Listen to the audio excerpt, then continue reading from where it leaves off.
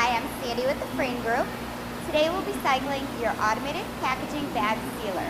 We recommend reading the manual in its entirety before powering up the machine.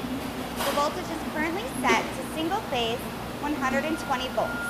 We'll be placing these numbers in the bags and then sealing them.